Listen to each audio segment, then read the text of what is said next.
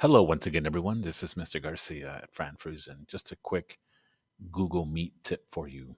Now, if you are like me, perhaps you are presenting something with audio or, or perhaps showing a YouTube video or anything that has audio in it, uh, make sure that your make sure that your microphone is off while you are presenting audio because some of the students told me they can hear echo because my microphone is on. So I'm just going to demonstrate that here real quick.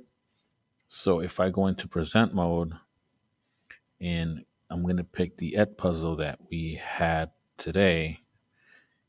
And so today we had a discussion about plate tectonics. So at the end of the discussion, I have we do an Edpuzzle together. Notice how it says presentation audio.